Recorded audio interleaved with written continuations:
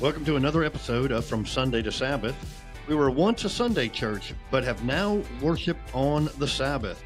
Join us on this journey and discover the life that you were created to live. Discover the epic life, real love, real people, real purpose.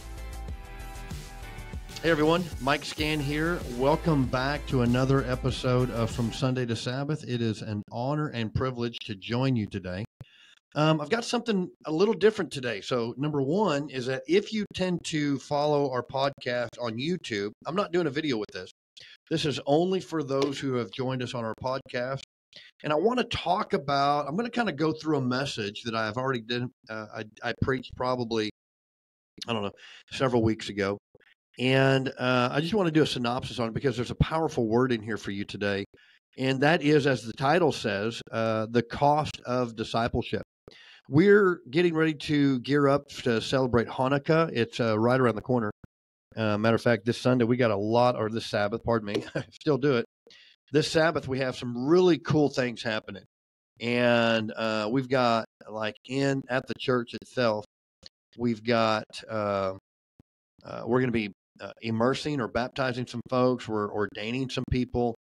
Um, just some really neat things that are happening in our community, and I'm super excited about this um, because uh, it's just a it's just showing the growth of what's happening here in this small church in Terrell. So if you're ever in the area, man, I want to challenge you come come check us out. Um, if you want more resources that we have, you can follow us on Facebook. You can join us on our face or uh, YouTube account. Just look for Epic Life Terrell on YouTube. And then, of course, don't forget to share this podcast with all your friends and family and uh, cohorts. And I know we've got people joining us from all over the world. Uh, last I checked, uh, I think we're in about six or seven different countries, including Canada, India, um, Deutschland, um, Africa. Man, it's just really cool what the Lord's doing.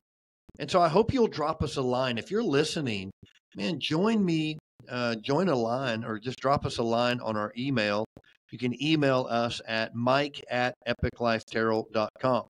Drop me an email. Let me know where you're from, what you think about our content. And if you have something you'd like me to talk about, I'd absolutely love to do it. So today we're going to talk about the cost of discipleship. This is going to be a longer, probably a little bit longer broadcast than I'm normally doing, but I simply want to get some things out um, about what this means and what it means to be a disciple. Um, this is probably one of the most confused. I think not one of the most. Obviously, it's not one of the most, but it is a very confusing uh, topic. What does it mean to be a disciple or disciple? Yeah, disciple of Messiah, Jesus. And in you know, once we have repentance, or the word is in Hebrew, the word is teshuvah, repentance. Um, and I think because of the way the church has uh, communicated what this looks like or what this means, there's a lot of confusion. But teshuvah, or repentance, encompasses more than just a change of heart, but actually it's turning one's life into a different direction. And I think the confusion comes from a lot of people don't know what that means. They don't know what that life should look like. Like we'll say things like, you just need to love Jesus. Okay. Well, what does that mean? What does that look like? Um, you just need to follow God. Okay, that's great. But what does that look like? And I think this is where the church has fallen short because you go to church, you maybe do the secret prayer, the prayer, right? The, the sinner's prayer. You turn your life around, or you don't turn your life around, but you make this profession of faith and then you get immersed or you get baptized. But what does it really mean to be a disciple? There's no instructions. Well, here's the thing that we have missed is that this book, this Bible that we have, it tells us, it tells us what it means to be a follower. God gave us the rule book and the the the guide um, to follow Him. You know, we used to say the Bible, B I B L E, um, it basic instructions before leaving Earth. And I think this is their the instructions for living here on earth and for living in the kingdom to come. And so I want to talk about that today. Let's let's unpack it. What does it mean to be a disciple? Well, you know, I think nothing communicates this more than the calling, pardon me, of the 12 disciples. because being a disciple is about forgetting whatever life you had. I want to say that again. Being a disciple is about forgetting whatever life you had and now living with, eating with, and giving up one's life to, to learn the way of the teacher or the master. So it's whatever life you lived prior to coming to the knowledge of Yeshua. It's more than just saying, okay, I'm going to say this prayer and now I'm a disciple. I believe there's more. We were just talking about this last night during our, our prayer meeting. And we were talking about how we come, we say this magic prayer, that we just leave people and we like, we don't teach them what it means. And so you kind of have to find your own way, right? But if you're going to be a follower of Messiah, it means that there should be a lifestyle change. And it's not just a lifestyle change, um, you know, by you, you know, creating some good morals, acting a different way, acting new. It literally, man, is a change that happens inside your heart. And this is not a new concept in the in the New Testament. It wasn't because Jesus came on the scene somehow you know, this is a new idea. It's not a new idea. It's something that they had been doing. And they were actually accustomed to being disciples for many, many, many, many, many years. The Hebrew Bible uses two words for this, this understanding of a disciple. Uh, the, the, word, the first word is the word talmid, T A L M I D. The word talmid occurs in First Chronicles chapter 25, verse 8 and it refers to a student or an apprentice in basically kind of musical instruction. We'll read here in First Chronicles chapter 25 verse 8. They cast lots for their divisions on the principle of small and great alike, teacher as well as students. So this word indicates that that their student it's, it's the word student, right? This word talmid. It's the word that we get for a student. So, uh, part of being a disciple is being a student of someone else. Um, the word lumed is used in Isaiah 8:16. It's the other word for this word disciple. And it's used in reference when Isaiah refers to the group gathered around him as my, I quote, my disciples. So we'll take a look at it. Isaiah 20 or Isaiah 8 8. I'm sorry. Isaiah 8 15 and 16. Many young, many among them will stumble, fall, and be broken, snared and caught. Bind up the testimony, seal the instructions with my disciple. So we get this word limud, lumid, L I M M U D. Um, and so this is great because it carries us over into understanding what it truly means to be a disciple. In Luke chapter six of the of the Brit Hadashah, it tells us what it is, right? Luke six and verse forty. A disciple is not above his teacher. This is that same word, but everyone who is fully trained will be will be like his teacher. In other words, if we're going to say we're a lumid, we're a teacher, we're a or we're we're discipled, we are to become like the one who is discipling us. Listen, I might be a teacher, and I may even be, uh, you know, you may consider me as a your teacher, but the great teacher Jesus Yeshua is the one who's doing the discipling. We see that throughout Scripture. It's the Holy Spirit's job to lead us into truth, to help make us into disciples. In Isaiah 50 and 4, where discipleship is characterized by an educational process um, of speaking and listening. So there's a process that happens. You don't just become a disciple. Listen to me today discipleship or being a disciple is a process that happens over the course of time. We have to set ourselves in a place to listen, to sit, to to listen to our teacher. Looking at Isaiah 50 verse 4 and 5. Watch. It says Adonai Elohim has given me the tongue of the learned that I may know how to sustain the weary with a word. He awakens me morning by morning. He awakens my ear to give heed, what? As a disciple Do you heed? Do your ears heed the voice of Messiah? Does your voice heed like a ready, like a student ready to learn from his teacher, from the Lord? And then we go into Isaiah 54 and 13, where it seems that there's a relationship that can be applied to disciples of both Yahweh and even human masters. Looking at Isaiah 54 13. All your children will be taught by Adonai. Your children will have great peace. So, if we want peace, if we want to be the men and women that God's called us to be, then we must put ourselves into a position to be disciples. By definition, a disciple was a learner, a student. It required the art of imitation. Listen to me. Peter is a great example of this. He was being called away from what he knew. Remember, he was a fisherman and he had a boat, and Messiah approaches him as they come out of the boat after they've gathered all the fish. Messiah looks at Peter, John, and James and says, Look, drop what you're doing, come and follow me, and I will make you fishers of men. You have to understand, we have to understand the significance of what Jesus is doing to Peter.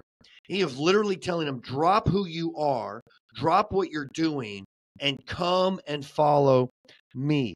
This is what Peter was getting into. And they knew it. They knew what they were getting into. Surely during his life, Peter, uh, around the Galilee, he had seen rabbis and he had seen their pupils. Um, this wasn't this wasn't new to Peter. It wasn't new to these guys that were being called out of the boat. This was this was the lifestyle. This was the culture of the time. And it was a unique relationship that required a full time commitment. Following Yeshua and being disciples of Yeshua is not a part time gig. It's not. It's something that we do constantly. It's a way of life. It's forsaking our our lifestyle that we used to live. It's forsaking who we used to be. It's forsaking us being in charge of our life and surrendering that control over to Yeshua. This is powerful. Rabbi Akiba, he says, once I followed Rabbi Yeshua into a privy, a bathroom, and I learned three things from him.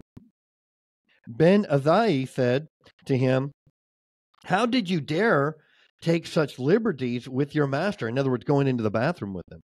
Akiba answered, it was a matter of Torah, and I'm required to learn. This is commitment, folks, that he would follow his rabbi into the bathroom so that he could observe everything. And I know it's kind of weird for us to think about that, but it's it's this is the commitment level that he had that the rabbi says that I would go and follow my master into the restroom because it's a matter of Torah. It's a matter of learning. I wanted to learn everything from him, everything.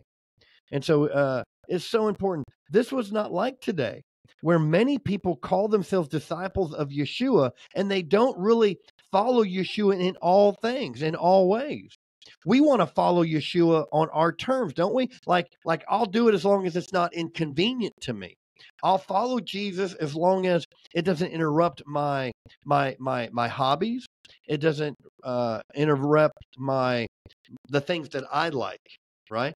And and Jesus is calling us to something deeper. That if we're going to be followers of Yeshua, if we're going to be disciples of Yeshua, here's the thing about this. I, I need to say this because I think it's super important.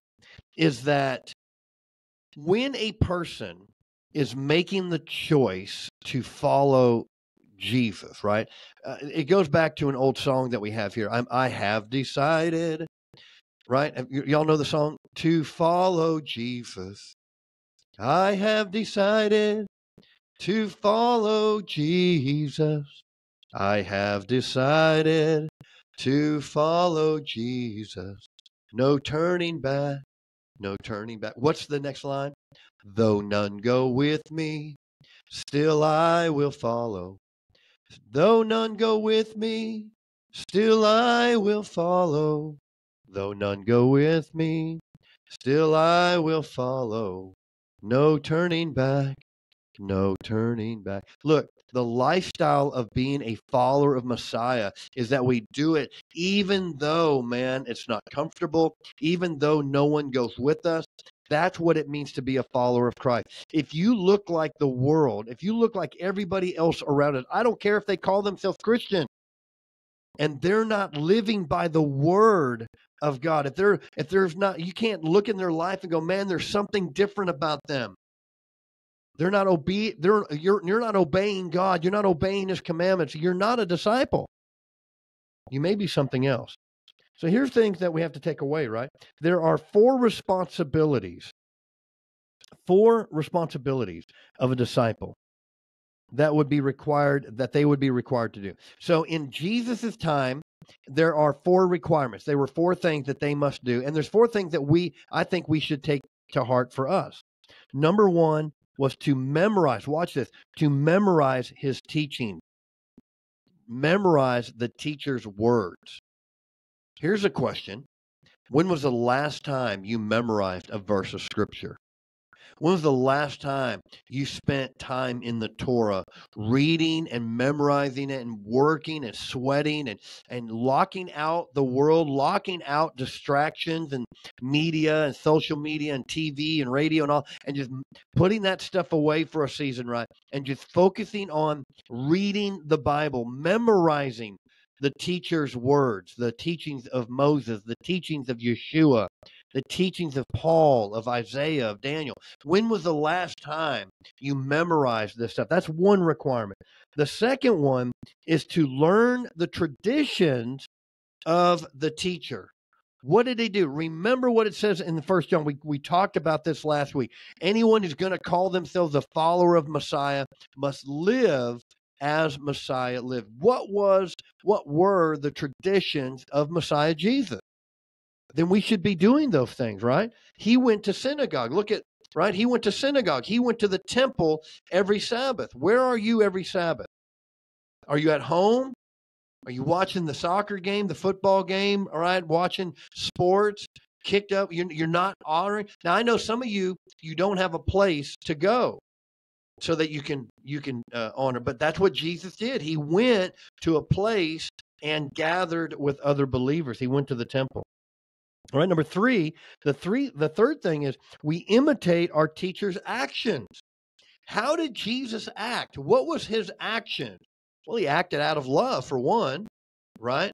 But he he stood strong on the Torah. He he held to the highest highest uh, things in his life, the Torah. Look at what the Bible said. Look at what he said about the Torah.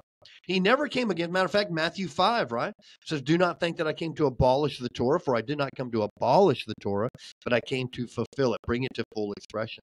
So it's very important that we see how our master lived and then imitate how he lived. And the fourth thing is to do what? Is to raise up more disciples, right? What did he tell the disciples when before he went away?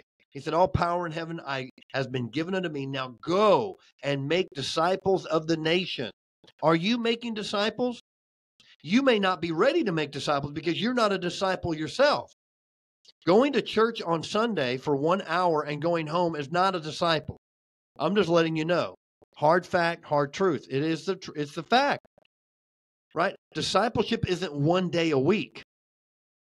Discipleship is every day, every minute, every hour you're wanting to be more and more and more like the master and that's being like jesus.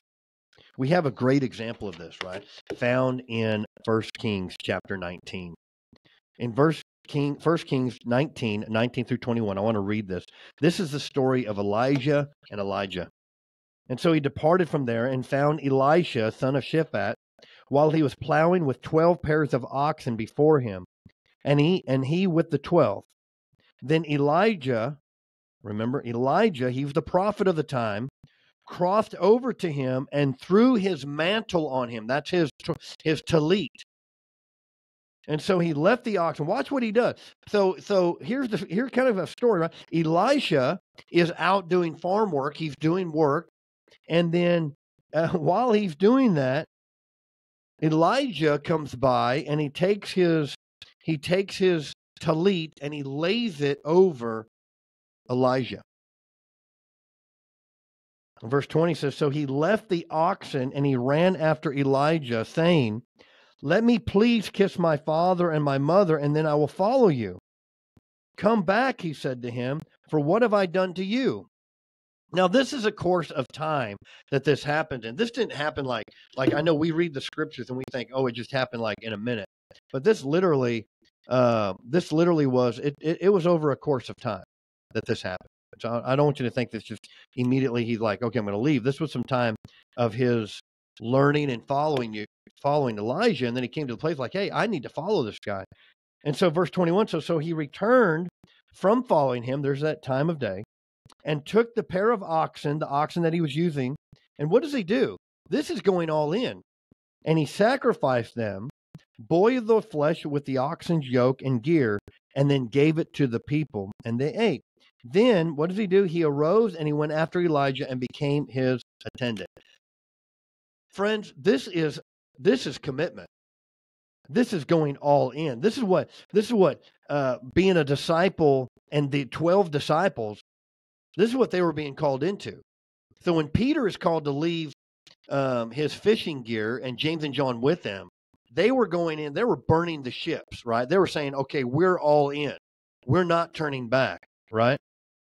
So we see two important elements. One is that he was being chosen. Elijah was being chosen by Elijah, and he sees and he chooses Elijah.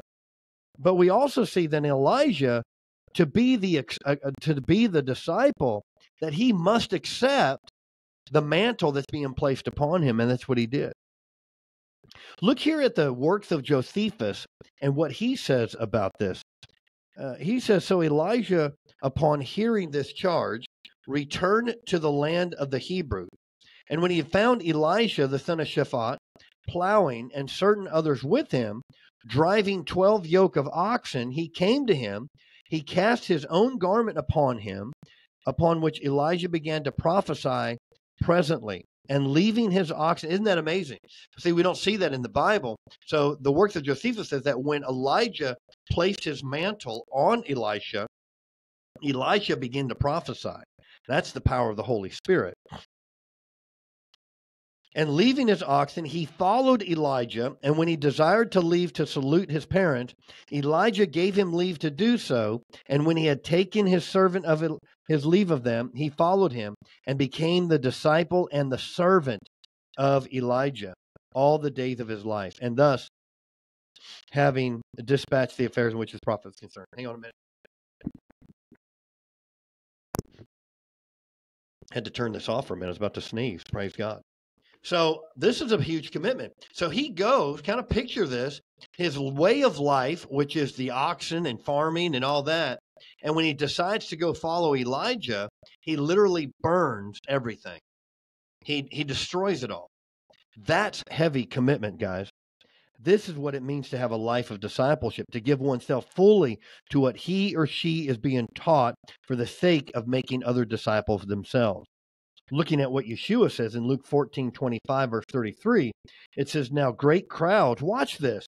Great crowds were traveling with Yeshua, and he turned and he said to them, If anyone comes to me and does not, watch this, does not hate his own father and mother, wife, children, brothers and sisters, and yes, even his own life, he cannot be my disciple. Now, does this mean that you're to go and start hating your mother and father? No, that's not what it means. This is a Hebrew idiom. And the people understood what was being said that nothing should be greater than the relationship with the Father Yahweh. Nothing.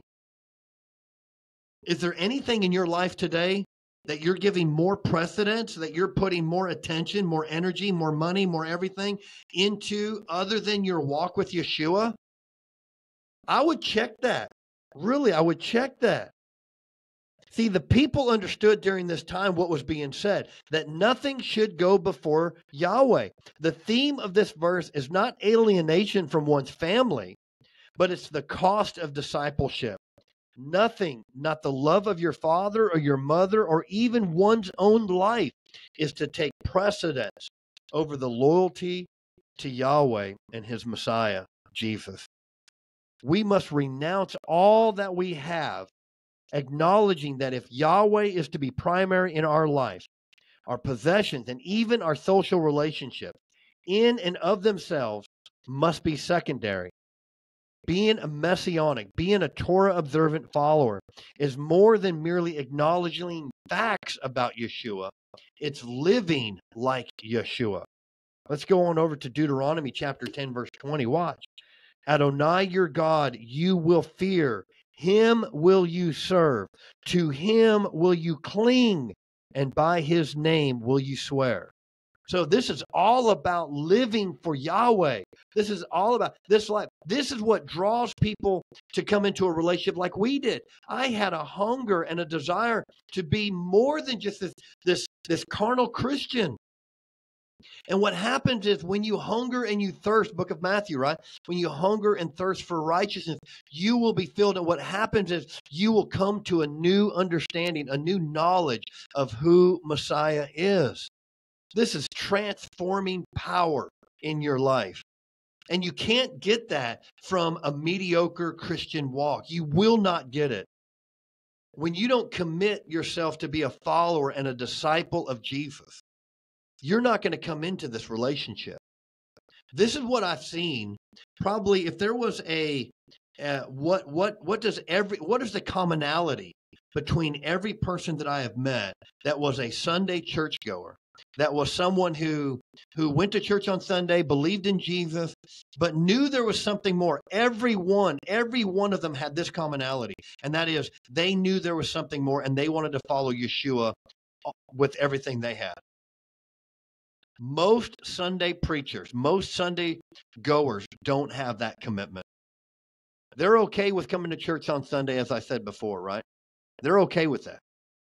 But man, to really follow Messiah, when you begin to really have a hunger and thirst for Him, friend, I'm telling you, man, you're going to see Scripture in a different light. You're going to see Jesus and His 12 disciples in a different light. You're going to see Paul in a different light. You're going to see Moses in a different light. I am telling you right now, it is phenomenal. It is powerful. This is awesome. It will transform your life. Luke chapter 14, verse 27. Whoever does not carry his own cross, watch this, church, and follow me cannot be my disciple. For which of you wanting to build a tower, this is where we fail, doesn't first sit down and figure out the cost? Friend, have you sat down and considered what it means to be a follower of Jesus? Have you considered the cost? He's telling you in verse 27 what the cost is.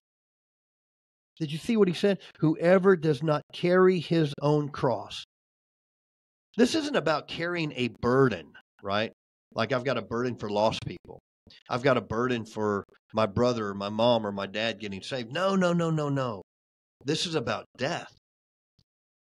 This is about considering the cost that to be a follower of Yeshua, to be a true follower of Yeshua means that you are willing to die that you're willing to lay down your life, that you're willing to say, you know what, I'm forsaking everything. That's what it means. Matter of fact, I think I, I may have it here later, but it says that many, many will not taste of death until they come face to face with Messiah at Judgment Day. What does that mean? It means that we're not willing to die to this flesh.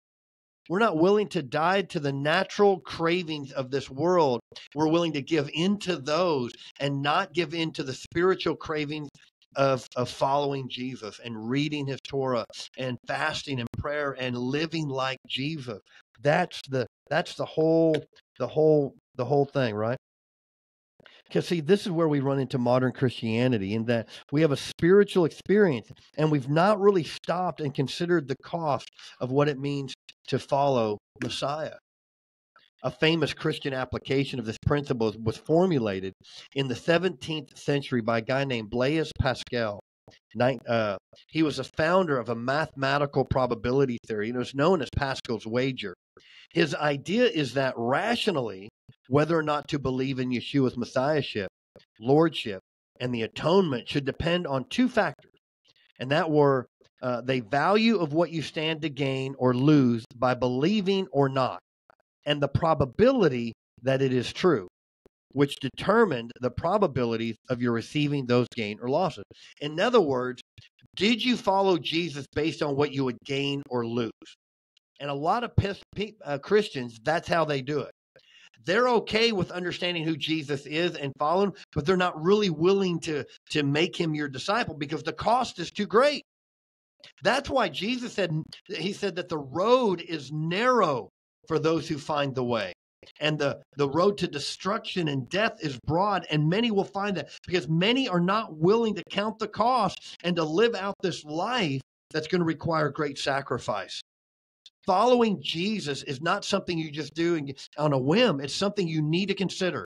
It's something you're saying you're willing to give it all up in Luke 14, going on, continuing in verse 29, it says, Otherwise, when he has laid a foundation and isn't able to finish everything, all will see it began begin to mock. In other words, you start a project, you don't consider it, you start living for Jesus, you don't consider the cost, and then by halfway through, when you realize how tough it's going to be, you give up.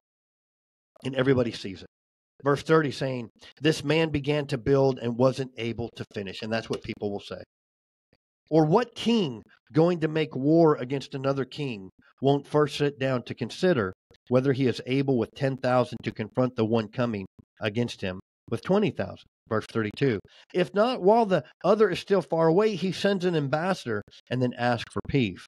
Verse 33. So, in the same way, whoever does not renounce all that he has, watch, cannot be my disciple.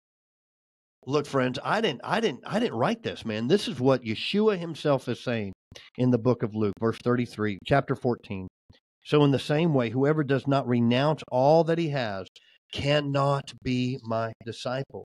No wonder why Jesus said at one point, He said, Many are going to come unto me and cry, Lord, Lord, did we not do all of these things in your name? And He'll say, Depart from me, you doers of iniquity, for I've never known you. They've never considered the cost of what it means to follow. Philippians chapter 3, 7 and 8 says, But whatever things were gained to me, this is Paul, these I have considered as loss for the sake of Messiah. More than that, I consider all things to be lost in comparison to the surpassing value of the knowledge of Messiah Yeshua, my Lord. Because of him, I have suffered the loss of all things, and I consider them garbage in order that I might gain Messiah. He counted the cost rationally and correctly. He understood Pascal's wager a millennium and a half before Pascal formulated it, and he drew the appropriate conclusion. See, when the disciples, or even Peter uh, in this case, walked away from the boat, he wasn't being haste. He was doing this very thing. He was leaving his former life to follow the Messiah. And the disciples, all the disciples, they were going all in. And I want us to pick I want us to pick up on this. I want you to feel the weight of what it means to follow and understand what the disciples and the others what they all have thought. They knew what they were going getting into. They knew what it meant because of the culture. They knew what it meant to be a follower of Messiah. That's really what the expression of baptism is all about. Baptism isn't just about getting wet and, and you're not saved because you're baptized.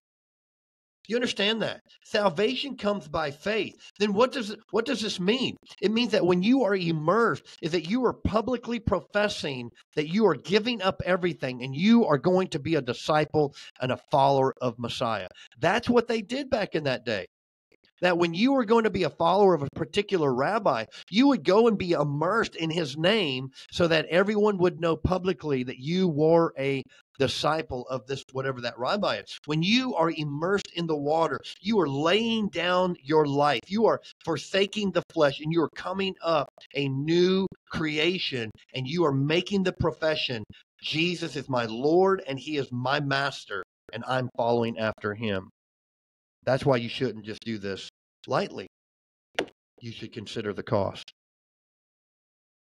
Luke 5, 1 through 8. It happened that the crowds were pressing upon Yeshua to hear the word of God as he was standing by the lake of Kinneret. When he saw two boats standing beside the lake, now the fishermen had left them and were washing the nets. Getting into one of the boats, Simon's boat, Yeshua asked him to push out away from the land. Then sitting down, he taught the crowds from the boat. When he had finished speaking, he said to Simon, Go out into the deep water and let down your nets for a catch. Simon replied, Master, we've worked hard all night and caught nothing, but at your word I will let down the nets. When they when they had done this, they caught so many fish that their nets began to break. So they signaled to their partners in the other boats to come and help them. They came and filled both boats so so full that they began to sink. Watch what happened.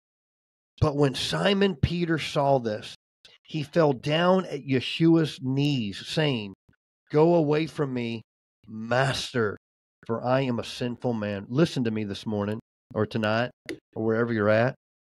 This is a powerful encounter for Peter. Notice his repentant heart. I'm a sinful man. In other words, I am lawless, which goes along with what we've known about fishermen. They were some rough dudes. This, in fact, is Peter's transformation. He knows who is in the boat with him. See, this is this is the response of someone who knows who is in front of them. This is the response of someone who realizes who Jesus is. Is that we we come to a place when we see Jesus face to face and we get on our face and we repent. We repent and we understand that our life will never be the same. 2 Samuel 6 9, watch. So David was frightened of Adonai that day and then he said, How can the ark of Adonai come to me? See, even David, when coming face to face with Adonai, with the Lord, he knew. He knew who he was. Just, just as Peter, just as Paul, when Paul seen Yeshua on the way to Damascus, what did he do? He fell on his face because he recognized who he was and he was the Lord. I want you to feel this. I heard recently how we have taken the spiritual things. A great teacher, man, a friend of mine now, a great, a great, wonderful guy named Lex Meyer, man. I encourage you go onto YouTube and follow this guy. He's an amazing teacher. But he once said, I heard him in a meeting one time. He said that we have taken the spiritual things of God, of Yahweh, and we have made them so common. There's very little fear of God anymore. So we take our salvation for granted. We have become numb to God's presence and his holiness. You know, everyone knows John 3:16 for God so loved the world, right? But do we know verse 20 and 21? Let's look at it. John chapter 3 verses 20 and 21 for everyone else for everyone who does evil hates the light and does not come to the light so that their deeds will not be exposed but whoever practices the truth comes to the light so that it may be made known that his deeds have been accomplished in God. See, when we come to the knowledge of Messiah, a disciple doesn't run from the light. He runs to Messiah. He runs to the Master and says, Man, search my heart, know my thoughts, this is what it means to be a disciple that we allow the master to point out the things in our life. And a person that is sinful, a person that doesn't want to be in his presence, they're evil. They don't want their, their, their the plans, they don't want their works exposed. Isaiah 59 and 2. Rather, your iniquities have made a separation between you and your God. Your sins have hidden his face from you so that you so that he does not hear. Sin always drives us to flee from the presence of Yahweh. Yet when we look at the disciples, we see two different realities. Yeshua knew who Peter was, and Peter had seen who was in his boat. Yeshua's response to Peter's fear of sin Fear not, Peter. I will make you a fisher of man. You will be my disciple. You see, when we come into the presence of Yahweh, and we truly understand who he is, when we understand who Yeshua is, the reality of our life will begin to change. Luke 5, 10, and 11. So also Jacob and John, Zebedee's sons, who were partners with Simon. But Yeshua said to Simon, Do not be afraid. From now on, you will be catching men. So when they had brought the boats to the landing, what? They left everything and followed him. Guys, I want to close up with this statement. True dis- discipleship is not about fitting God into our life. It's about us leaving our life and following Him. That's why I think that's what drove us. That really is the driving force for me and for many that are in our community today. is that we knew there was more and we were willing to lay down everything that we thought we knew to follow Yeshua. And when that happens, a great revelation happens about about his word, about things like we're fixing to celebrate, right? Hanukkah and Christmas and how Christmas is Christmas is wrong. It doesn't point to Jesus.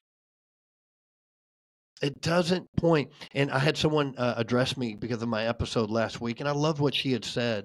You know, and there does come a point where we have to look at the reality of the things that are being done in Christmas and the holidays and how pagan it is. Well, what happened is the closer you grow to Jesus, the closest you you come to really laying your life down and confessing that he is the master and you are the disciple. The realities of the things that we see that are happening in this world become known. And we really begin to see that we've been worshiping him wrong and we need truth. We need the truth of Yeshua, and that comes in the form of the Torah. You can't escape it, church. You cannot escape it, loved ones. Man, I hope this has blessed you. I want to pray for you and I want to challenge you to, man, look in your life and to remove, if there is sin in your life, I am begging you, as we started in the beginning, teshuvah, repent, turn back, put on the identity of Messiah and let him be your disciple. Let him be your master, and you become his disciple. Fully committed follower, a fully committed, obeying his Torah, obeying everything that he has taught and learned, man. It's amazing when that happens, the revelation that comes. I want to pray for you, and then we're going to be dismissed. Father, in the name of Yeshua, I pray for every everyone in the sound of my voice. I pray that you would bless them. I pray that you would open their hearts to receive your word. I pray that if they don't know Jesus, if they don't know Yeshua, if they've not surrendered, if they've not repented of sin, Father, that today would be that day that they turn and repent, Father. I pray for those who may be living a lukewarm life and they're, they know there's more. Father, I pray that you'd show them I pray, Lord God, that their lives would be changed. I pray for transformation. And I pray for those who are hungering for you, who thirst for you, Lord, that you would fill them. Fill them with your Torah. Fill them with your word. Fill them with your Holy Spirit, the Ruach HaKodesh, right now in the name of Yeshua. Father, I pray that their eyes would be open, that they would know the hope that is within them. Lord, thank you for this time. Thank you for the technology and the ability to do what we're doing today. And Lord, I thank you so much for all that you're doing and what you're going to do in the lives of many people. We love you in the name of Yeshua. We pray, Amen. Man, if you are, uh, if you're in the area of Terrell, chant.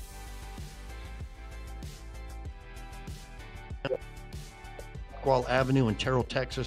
We would love to have you join us on Facebook Live. We have our, our we th- we simulcast or we live stream our our services every every day. You can download our Epic Life Church app, ELC Incorporated. Uh, look for it. Look for our logo there. That's on there. It's absolutely amazing. Man, I'm Mike Scan. I am such so honored that I get to speak to all of you across the world. I hope you are blessed and you find the life that you were created to live, the epic life in Yeshua, our Messiah. We'll see you then.